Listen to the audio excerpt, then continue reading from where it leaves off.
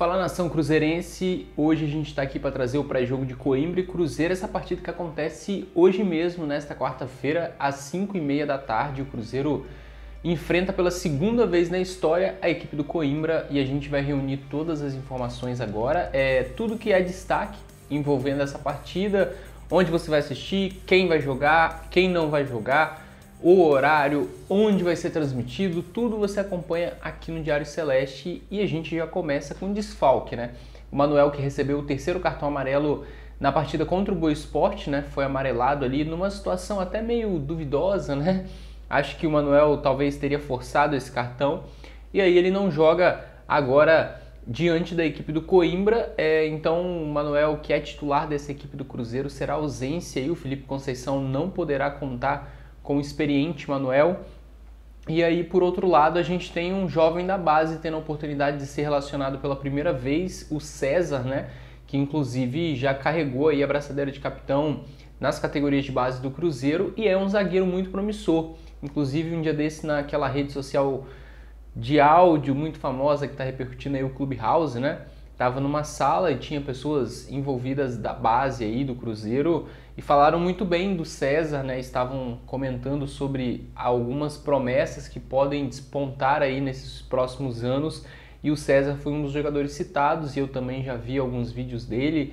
É um cara que parece ter uma qualidade muito boa, vamos ficar de olho, né? É, e o titular desse setor defensivo no lugar do Manuel vai ser o Everton. O Everton vai jogar aí pela segunda vez, jogou na estreia do Cruzeiro na temporada contra o Uberlândia Naquela ocasião aí o Cruzeiro estava com problemas defensivos, né?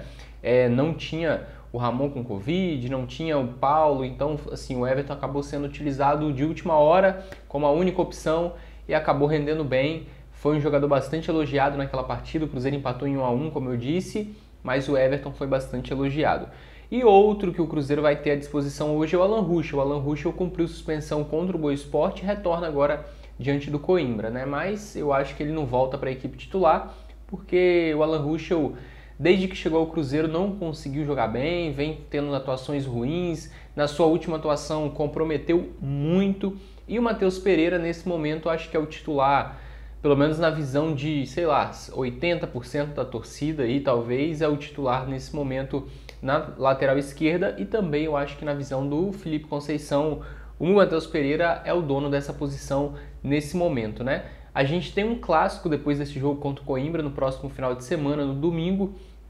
Então, assim, vencer esse jogo é essencial para o Cruzeiro, já pensando também na classificação para a próxima fase, para o Cruzeiro ganhar confiança para o clássico, para o Cruzeiro chegar um pouco mais leve também, né? Porque nos últimos jogos aí, o Cruzeiro estava com uma pressão muito grande.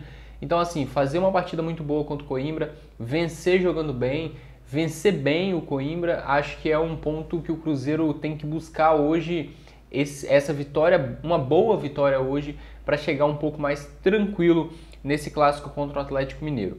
A gente tem aí as prováveis escalações das duas equipes. Como o Coimbra é o mandante hoje, a gente começa com Coimbra.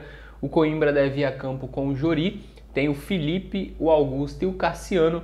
E na lateral esquerda, o Lucas Hipólito. Né? No meio de campo tem o, o Tomás, o Cauê, o Marquinhos, o Guilherme Santos, o Rafael Lucas e o Igor. Aí eu falei já jogadores também que não são do meio de campo, que formam aí essa equipe do Coimbra, que vai enfrentar hoje o Cruzeiro. A equipe do Coimbra marcou só dois gols nesse Campeonato Mineiro.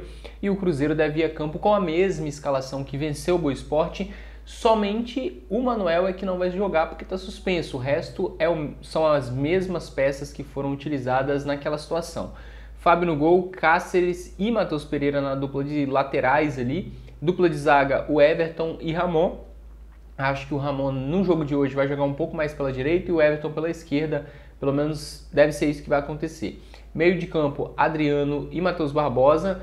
E aí um pouco mais à frente o Marcinho, né? Nas pontas a gente deve ter o Ayrton novamente ao lado do Bruno José, ao lado não, né? Um joga de um lado, o outro joga de outro, do outro lado. E lá na frente o Rafael Sobis como nosso único atacante nessa equipe aí, o nosso falso 9, né?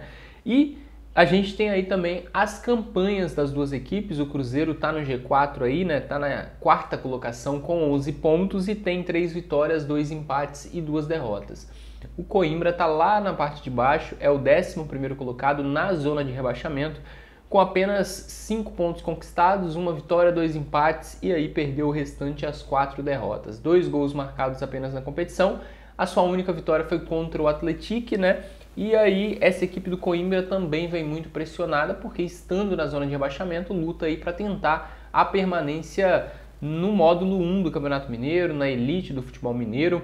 Então o Cruzeiro vai ter esse confronto aí que o Coimbra provavelmente vai dar a vida, né? O jogo acontece com transmissão do Premier às 5h30.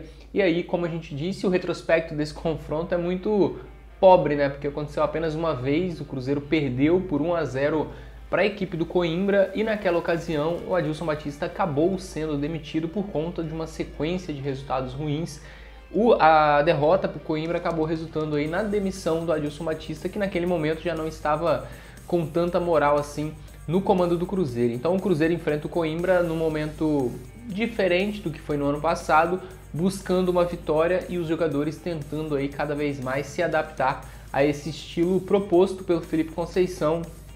Então vamos esperar aí que o Cruzeiro faça uma boa atuação hoje para nos deixar um pouco mais esperançoso, para deixar a gente um pouco mais tranquilo, para também não estragar esse meio de semana da gente.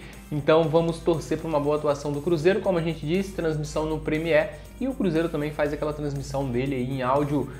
Quem quiser acompanhar no YouTube oficial do Cruzeiro. Então se inscreva aí no nosso canal, deixe seu palpite nos comentários para essa partida. Se inscreva, deixe o gostei e até a próxima.